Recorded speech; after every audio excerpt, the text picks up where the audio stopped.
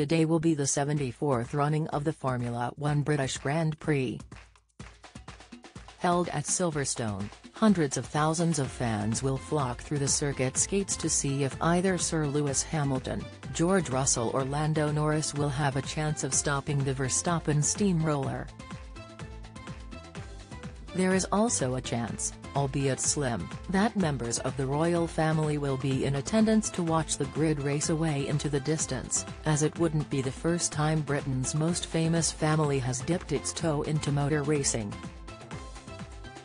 Both King Charles and the late Queen Elizabeth II attended Formula One events in the past, including the very first British Grand Prix. Though it's more likely that the sporting Mad Wales family will watch the event from the comfort of their own home, so the whole family, including young Princess Charlotte and Prince Louis can join in the fun.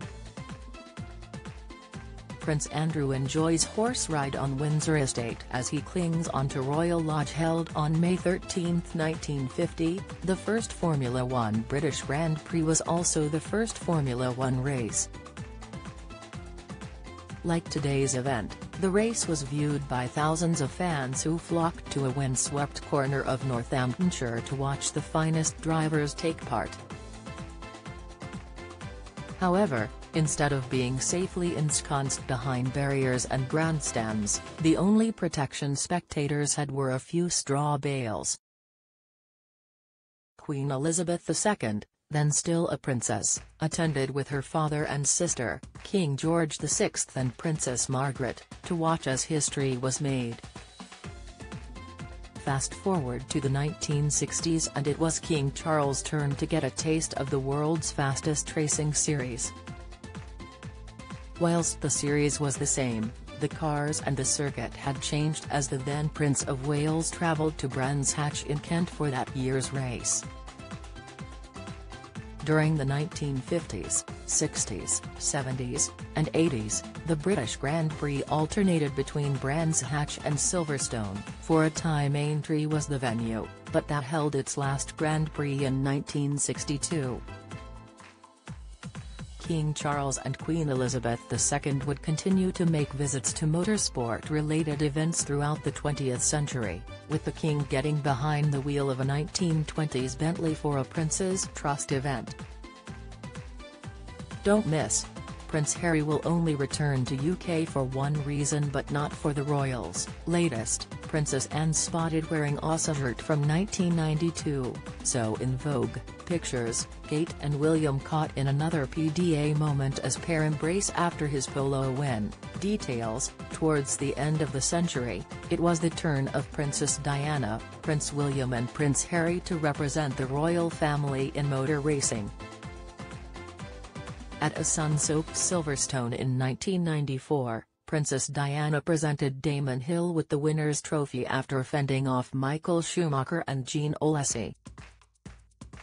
Prince William tried go-karting while Prince Harry would get even closer to the action when, in 2014, he attended the Abu Dhabi Grand Prix to witness the showdown between Sir Lewis Hamilton and Nico Rosberg.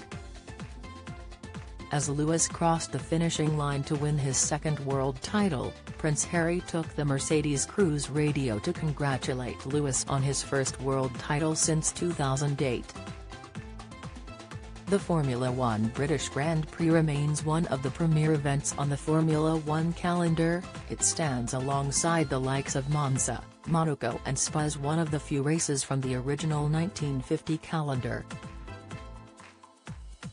Despite Formula One's longevity, the British Grand Prix didn't begin in 1950, instead, it can be dated back to 1926.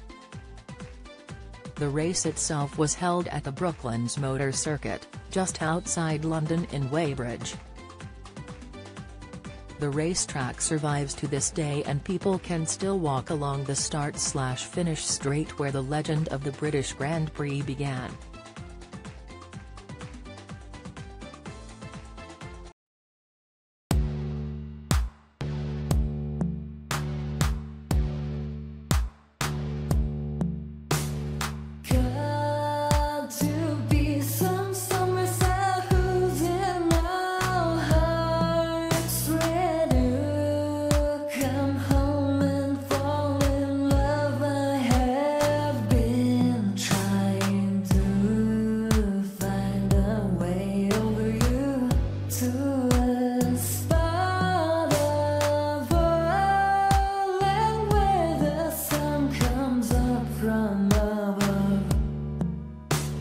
sun